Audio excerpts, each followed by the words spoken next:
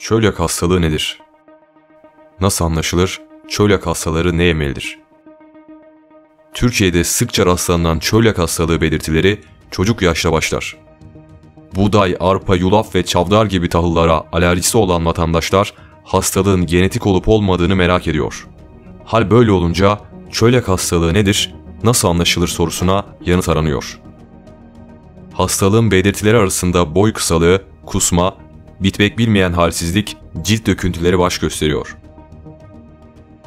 Uzmanlar hastalığın tek tedavisi olarak az miktarda glutenin bile zarar verebileceğini göz önünde bulundurmak çok önemlidir. Yasak olmayan yiyecekler listesinde pirinç, mısır, patates, soya unu yer alırken yasak olanlar arasında buğday, arpa, yulaf ve çavdar yer almaktadır. Çölyak hastalığı ince bağırsak alerjisidir. Günümüzde oldukça sık görülen bu hastalığın temel taşı ise glutensiz diyettir. Hastalarının tükettikleri glutensiz gıdalar bazı B grubu vitaminleri, demir ve diyet lifi içeriği açısından gluten içeren diğer gıdalar oranla daha fakirdirler.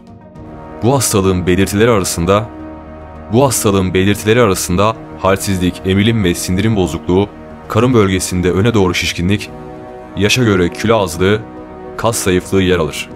Yetişkinlerde, çocuklarda ve bebeklerde görülen etkileri farklıdır. Çölyak hastalığı her yaşta teşhis edilebilmekle birlikte teşhisi zor olan hastalıklardan biridir. Çünkü belirtiler çoğunlukla ilişkili bir başka hastalığı da düşündürmektedir. Çölyak hastalığı nedir? Çölyak hastalığı günümüzde en sık rastlanan besin intoleranslarından biridir.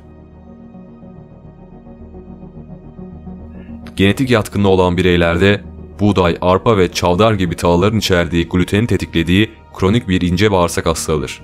Diğer belirtileri kansızlık, dışkıda anormallik, büyük tuvalet ihtiyacının artması, kusma, bezginlik, iştahsızlık, büyüme geriliği, gaz şikayetleri, eklem ve kemik ağrıları, sinirli olma hali, ciltte kaşıntılı döküntüler.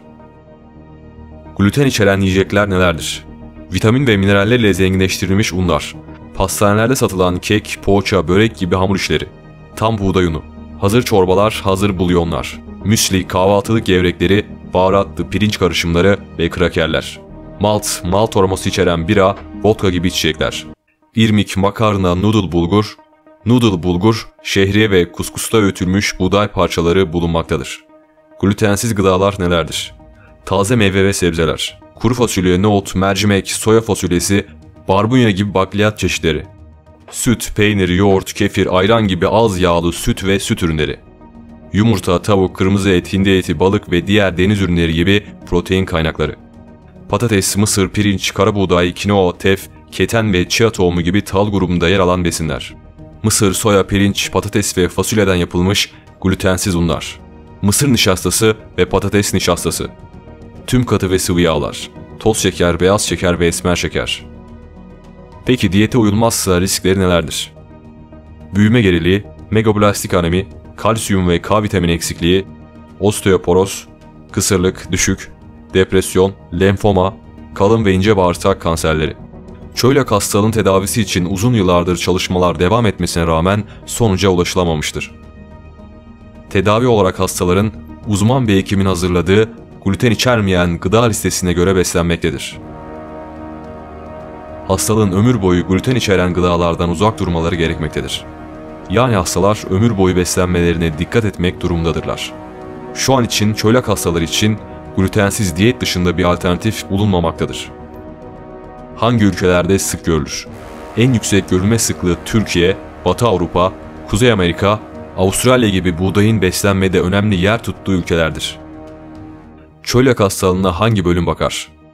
Gastroenteroloji bölümü bakar.